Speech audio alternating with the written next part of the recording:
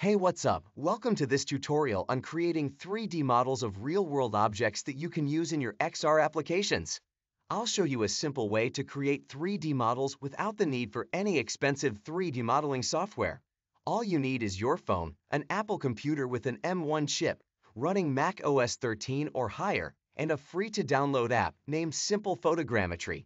Let's get started. The first step in creating your 3D model is to take photos of the object you want to model.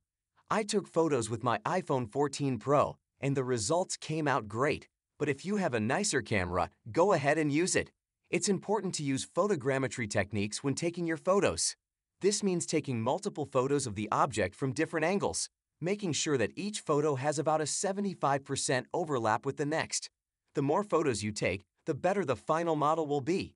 I usually take about 75 photos.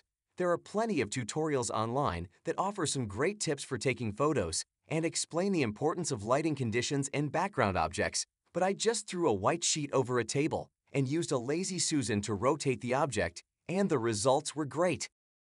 Once you've taken your photos, export them to a folder on your Apple computer. This will make it easy to find and use them in the next step. Next, head over to the Mac OS App Store and download my free-to-download Simple Photogrammetry app.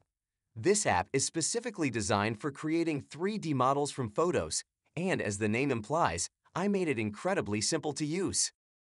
Once the app is installed, open it up and drag in the folder of photos that you exported in the previous step. The app will automatically detect all of the photos in the folder and prepare them for processing.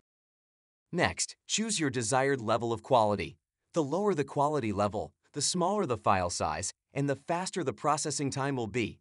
The higher the quality level, the more detailed the final model will be, but the photos may take longer to process. Once you've set your quality level, it's time to generate your model. Simply hit the Start button, and the app will begin processing your photos. Depending on the number of photos and the quality level you chose, this may take a few minutes. Once the process is complete, your 3D model will be ready to use in your XR applications. And there you have it, a simple and easy way to create 3D models of real-world objects for use in your XR applications. With my simple photogrammetry app and your phone camera, you can create detailed models without any modeling skills or expensive software. Thanks for watching.